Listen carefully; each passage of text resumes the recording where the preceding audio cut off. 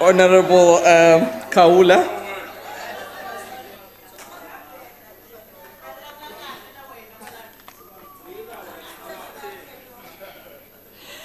Ngibonge sihlalo. Sihlalo ohloniphekile.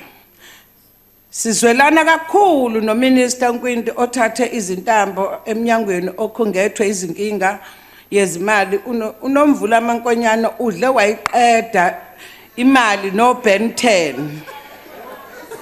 Honorable unomvula amankonyana uyiqedile imali no Ben 10.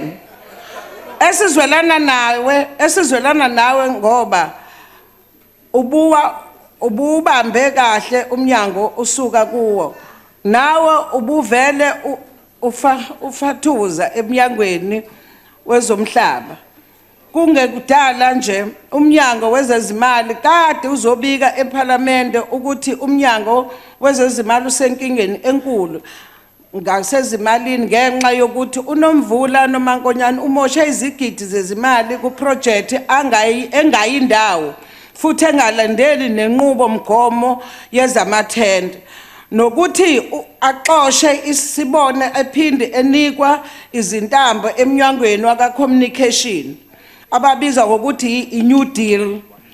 Kwawena minister asikakuboni uthatha uthathela izinyathelo ezikhulu kulomnyango ebezi ezingxenye ukudliwa kwemali emnyangweni. Akukho futhi osakushilo ngohlelo onalo ukubuyisela lomnyango esimeni esijwayelekile. Inkinga yokushoda kwamanzi nala eCape Town iyakhombisa ukuthi inkulu inkinga esibhekene esibheke kuyona uma singalungisi inkinga yengqala sizinda samanzi. Sike sathumela imibuzo eminingi phambilini eminyangweni wakho ngesimo se- sezamanzi kuzwelonke impendulo ezabuya kwacaca ukuthi silahlekelwa amanzi amaningi kakhulu ngenxa yamapayipi avuzayo angalungiswa. Abakhokhi bentela balahlekelwa izigidi zezimali ngonyaka ngenxa yalenkinga yamapayipi avuzayo anga- angalungiswa nase nase Gauteng kusinenkinga ye- yemali elahlekileyo engango 1 1 billion. Ngenxa yokuvuza kwamanzi. Lana eCape Town kade sis- sisatshiswa ngo- day zero. Nakhona silahlekelwa izindodla zezimali ngenxa yokungalungiswa kwamapayipi. Inkinga yamanzi ingalungiseka kalula uma singaqala kuyo leyamapayipi kodwa asiwuboni umnyango uthatha izinyathelo ezinqala ukulungisa lesimo okucacile ukuthi into enilibele yiyo ukudla izimali ngalamathenda eningafuni ukuwavala kunokuthi abantu bathole amanzi. Sibona kuqumba amaphakethe abangani benu. Anifuni ukuqasha abantu bakithi ukuthi basebenze umnyango kuze balungise izinkinga zamapayipi. Inkinga enkulu esinayo la nani la nina abasi-DA nibhizi nithatha inkampani zako-Israel izona enizoyisebenzisa la. Niyeka abantu bala abahluphekayo lalelani. Le nkinga yamanzi idinga ubuholi obuqotho okuyinto e- esingenayo ngen- njengamanje. Sidinga nezindlela zokuhluza amanzi olwandle. Uhulumeni makabhekane nenkinga yenkampani zezimayini ezichitha udoti ez- e- e- emanzini.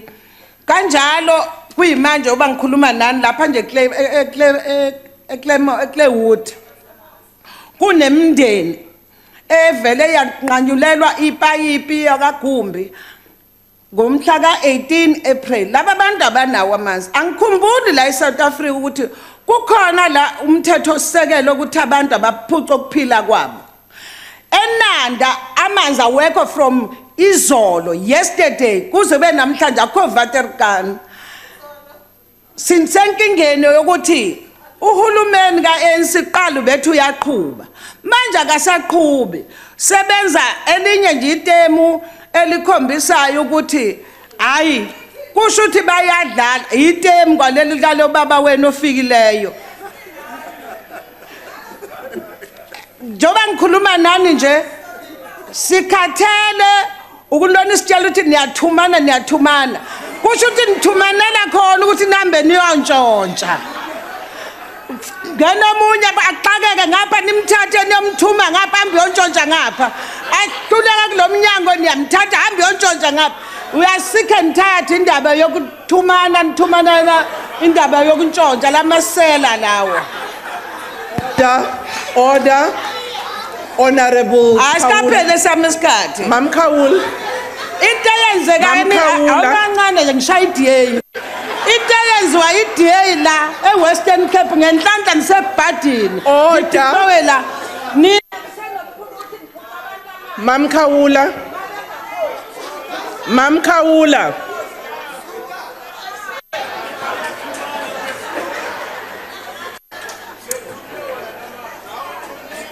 Lunga isihloniphekile Mam Khawula.